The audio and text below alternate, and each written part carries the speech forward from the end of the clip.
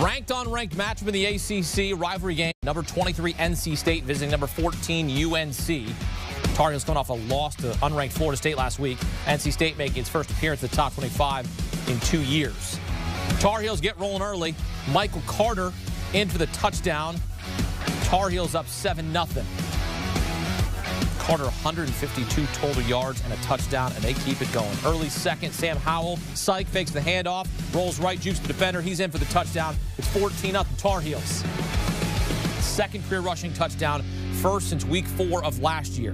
NC State trying to respond. True freshman Ben Finley in a quarterback in place of Devin Leary, who went down with a serious leg injury last week against Duke. Could miss the rest of the season. Finley connects with Emeka Emezie. 42 yard touchdown. And NC State makes it a 14-7 game on Finley's first career TD. But that's as good as it would get for the NC State offense. Early third, Finley's pass deflected by Tyrone Hopper into the hands of Chaz Surratt for the INT. UNC's defense stepping up, and they take advantage. Next Tar Heels possession, Howell to Josh Downs, 17-yard strike. UNC up 24 to 7, wide open. Where's the defense?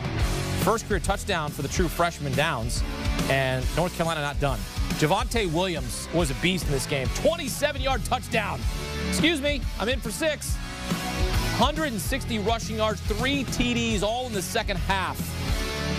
North Carolina rolls 48 to 21, covering the 15 point Game goes over the total of 61.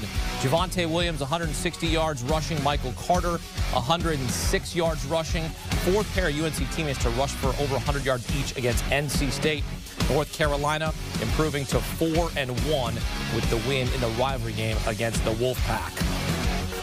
Want a sports network that delivers everything that matters about the game? The highlights, the picks, the instant analysis. No yelling, no fake debates, no politics. Hit the subscribe button and never miss a moment.